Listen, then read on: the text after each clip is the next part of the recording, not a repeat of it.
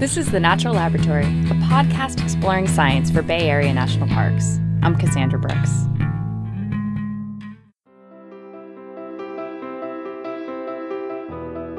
More than 100,000 marine species build their bodies using calcium carbonate, including snails, oysters, sea stars, coral, and plenty of planktonic animals.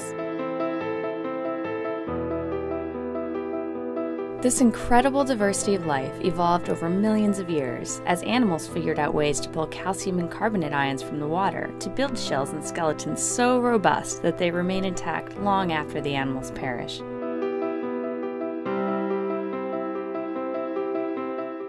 But all of this is changing. Our addiction to fossil fuels and the billions of tons of carbon dioxide we're pumping into the atmosphere each year may be undoing millions of years of evolution in a geological blink of time. Geochemists and oceanographers have known for a long time that when CO2 dissolves in water, it forms an acid. That's Ann Russell, an ocean geochemist at the University of California, Davis, who studies ocean acidification in Tomales Bay, just east of Point Reyes National Seashore. Almost one third of the world's carbon dioxide is absorbed by the oceans, according to Ann. This excess CO2 reacts with seawater, freeing hydrogen ions, which lowers the pH and makes the water more acidic. Living in more acidic waters is bad enough for shell building animals, but CO2 adds another problem.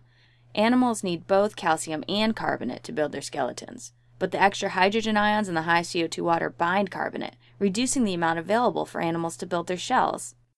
So, what might this mean for the future of calcifying organisms?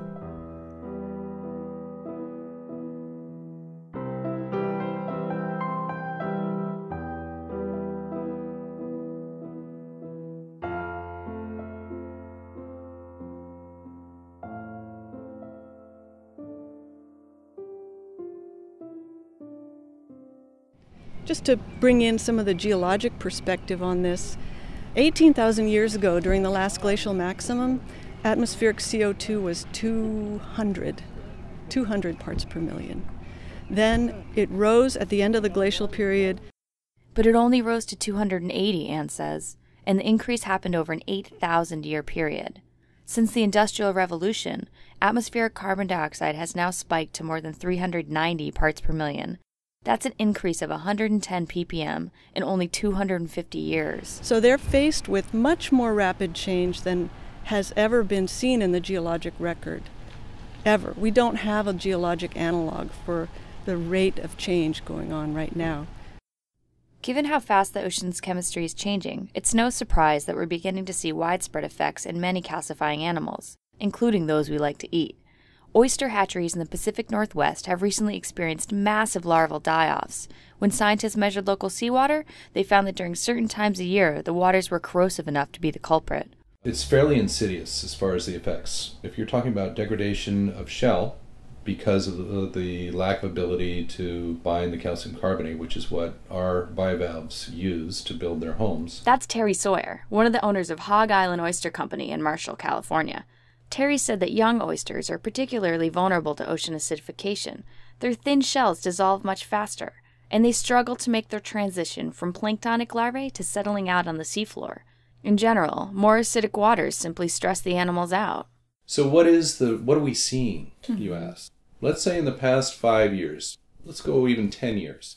We're seeing disease, a lot of disease issues. Uh, why are they becoming more uh, susceptible to yeah. disease? So one, maybe there's an introduction to that disease from another shellfish growing region. You know, maybe there's transport going on, maybe there is stress. Mm-hmm. And that's where we go into the OA. OA, or ocean acidification. Hatcheries and oyster growers are actively discussing mitigation strategies, like only pumping in seawater during low CO2 periods, or installing seawater treatment systems. And these strategies might work in the short term, but they'd prove ever more difficult as atmospheric CO2 levels continue to rise and they're sure to continue rising. Even if we stopped all CO2 emissions tomorrow, the oceans won't quickly return to pre industrial levels.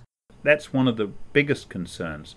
If we add CO2 to the oceans and then we just stopped, how long would it take? That's Andrew Dickson, a chemical oceanographer with the Scripps Institution of Oceanography.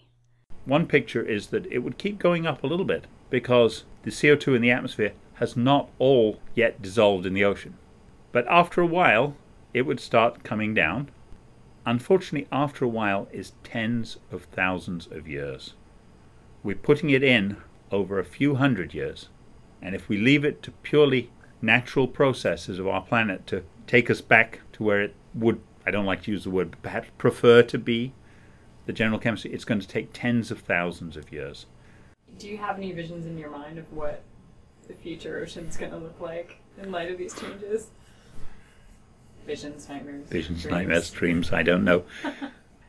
Clearly, it's going to change the possibility for a variety of calcium carbonate organisms in certain environments.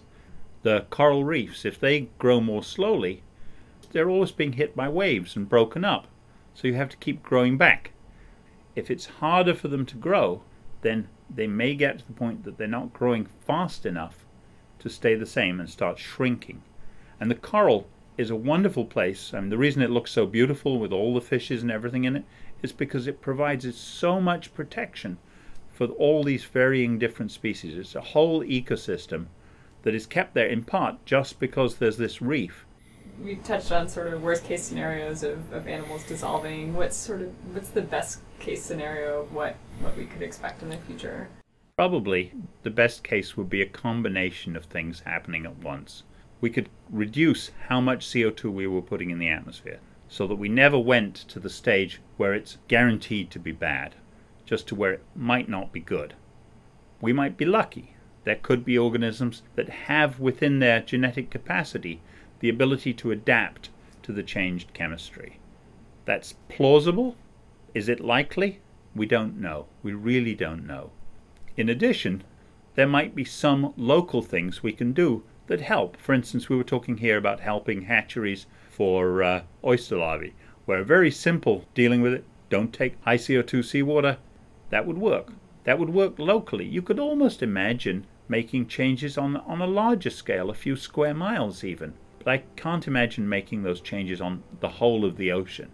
So it would be a matter of deciding that there were some parts that were more sensitive or more valuable and, and taking active action to change things.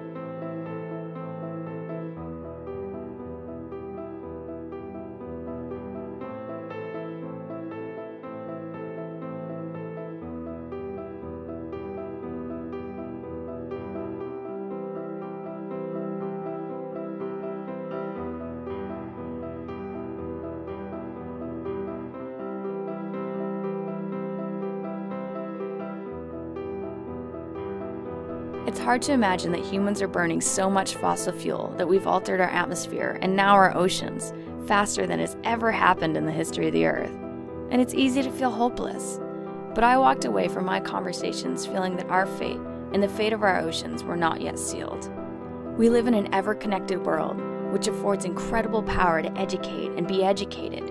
We have the power to learn about the world around us and to listen to the scientists who are continuously deciphering our impact on it. We have the power to teach our children, to inspire change in our communities, and to support policies that are in favor of a healthy planet. We have the power to make a choice every day about how we live our lives.